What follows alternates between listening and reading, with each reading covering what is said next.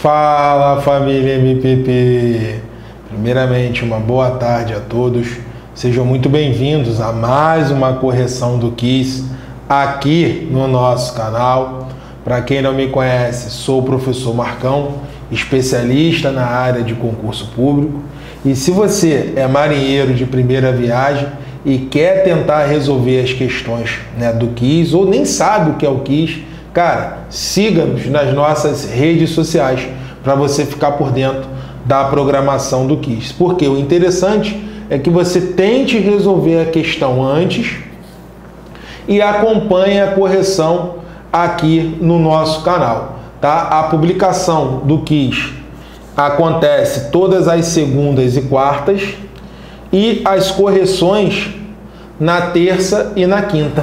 Né? Um dia publicamos né? e no dia seguinte é sempre assim: segunda publicação, na terça correção, quarta publicação, na quinta correção.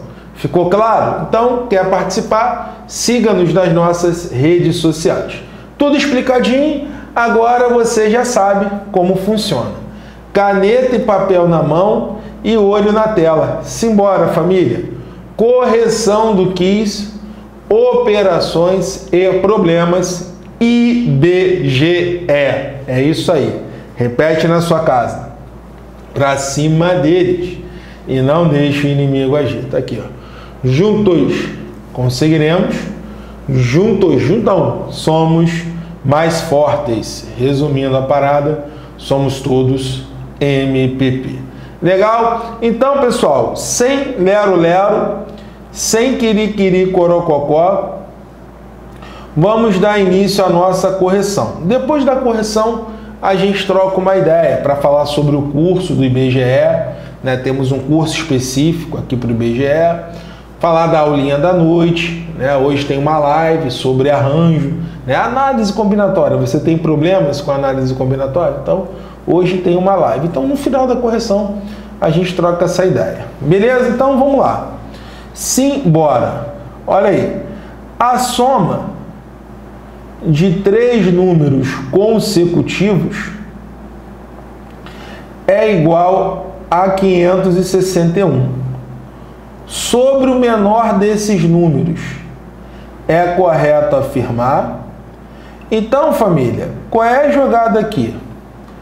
Temos uma quantidade ímpar de números, não é isso?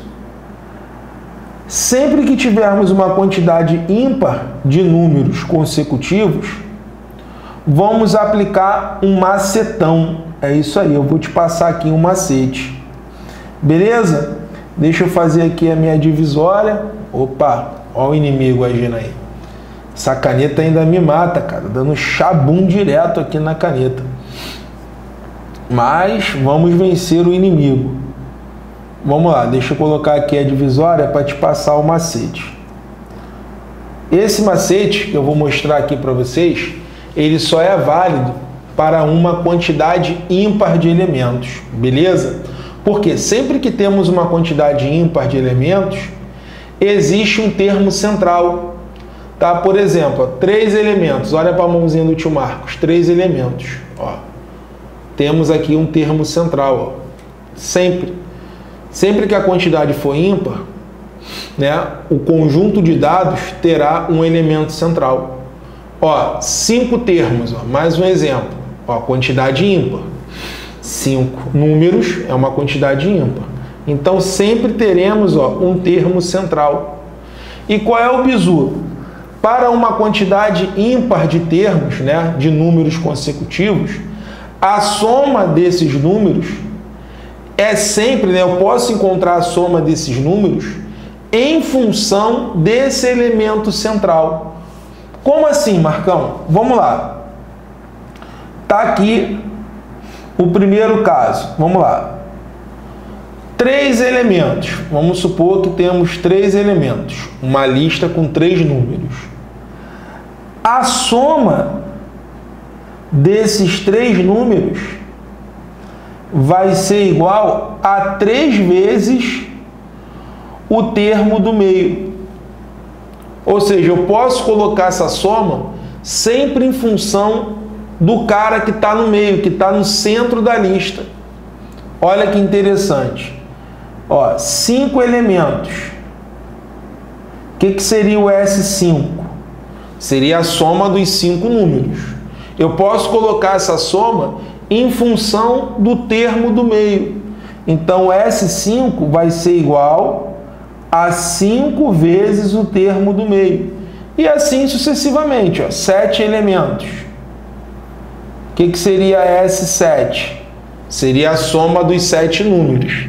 O que, que eu vou fazer aqui? Eu vou colocar essa soma em função do cara que está no meio, que está no centro da lista. Então, S7 é igual a 7 vezes o termo do meio. E assim sucessivamente. Lembrando que isso aí só pode ser aplicado, né, esse macete, se a quantidade for ímpar. Como a questão está falando de três números consecutivos, então a soma dos três vai ser igual a três vezes o termo do meio. Para você entender melhor, ó, tá aqui a minha lista. Três elementos, não são três números? Então temos aqui três termos. Como é uma quantidade ímpar, temos aqui um termo central. Vamos chamar o termo do meio de x. Ó. Então a soma desses três caras vai ser três vezes o termo do meio, ou seja, vai ser igual a 3x. Então 3x é igual a 561. Então x vai ser igual a 561 dividido por 3. Isso daí vai dar 187. Deixa eu ver se cortou ali. Não. Então, através desse macete, você já encontra o termo do meio. Então, eu já sei que esse carinha aqui, ó, é 187. Lembrando, que temos três números. Ó. Ele está falando a soma de três números consecutivos é igual a 561. Por isso que eu fiz uma, eu apliquei o macete, porque é uma quantidade ímpar, né? São três números. Aí ficou fácil. Ó, tá aqui, ó, o primeiro, o segundo e o terceiro número.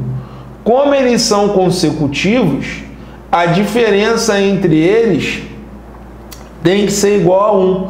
Então, quem seria o terceiro e quem seria o primeiro? Coloca aí para mim no bate-papo. Vamos lá, vamos ver se você está entendendo a parada. Eles são consecutivos. Então, a diferença entre eles é de uma unidade. Então, quem é o primeiro e quem é o terceiro termo? Vamos lá, coloca aí no bate-papo. Ah, Marcão, eu fiz dessa forma. X x mais 1 e x mais 2. Beleza, tá certo. Não tá errado se você fez dessa forma. Tá legal? Tá valendo também, você vai chegar no mesmo resultado. Só que com o macete é muito mais rápido. Beleza? Então, vamos lá, encontrando aqui os números. Então, quem seria o primeiro? Seria o 186, porque são consecutivos então 187 menos 1 vai dar 186. Agora, para frente, para frente eu não vou diminuir, eu vou somar.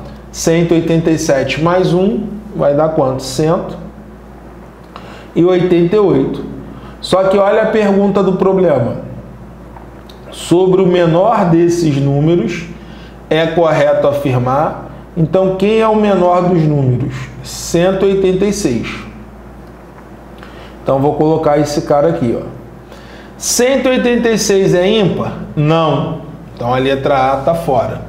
186 é divisível por 3? Sim.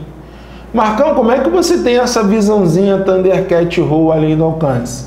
Aí critérios de divisibilidade, né? Curso, nosso curso de matemática básica. É por isso que nós colocamos né, no nosso curso específico um curso de matemática básica. É justamente por esse motivo. Aluno MPP sabe. Como é que a gente reconhece que o número é divisível por 3? É só somar os algarismos. Ó, ó somando aqui, ó, 1, mais 8 mais 6. 1 mais 8, 9. 9 mais 6, 15. 15 é divisível por 3? Sim. Então 186 também será divisível por 3. Simples assim. Então, com certeza, o nosso gabarito é a letra B de bola. Mas vamos lá. Continuando aqui a análise. Letra C. A soma de seus algarismos é igual a 16? Não. É igual a 15. O algarismo da dezena é ímpar? Não. O algarismo da dezena é par. É múltiplo de 4? Não. Porque 86 não é divisível por 4.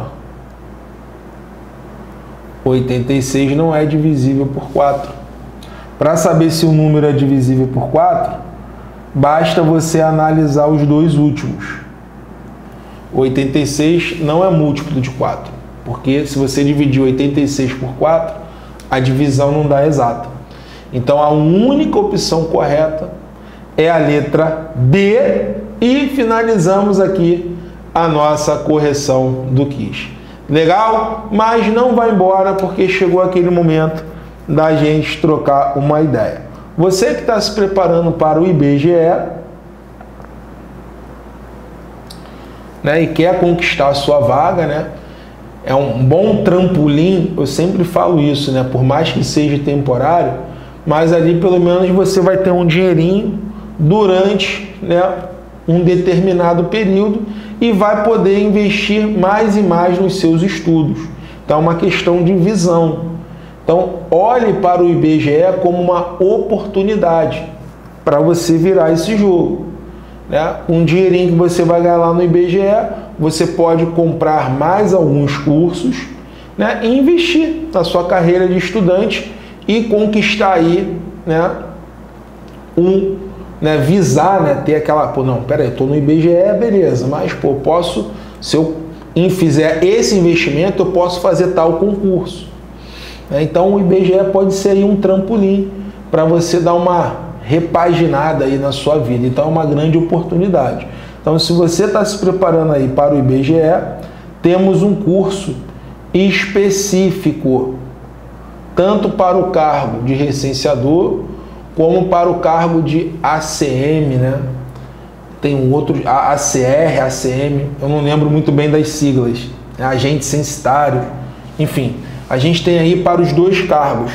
Então, ficou interessado? Entre em contato aí com o Júnior, ele está colocando aí o link do curso e o WhatsApp dele. Aí é só você entrar em contato com ele. Eu quero IBGE, ele vai prontamente te dar todas as orientações. Legal? E por fim, o nosso aulão de terça é sobre arranjo. É, é um aulão sobre arranjo, sobre análise combinatória. E esse aulão, essa live, ela vai rolar hoje às 20 horas. Beleza? Hoje às 20 horas você é o nosso convidado.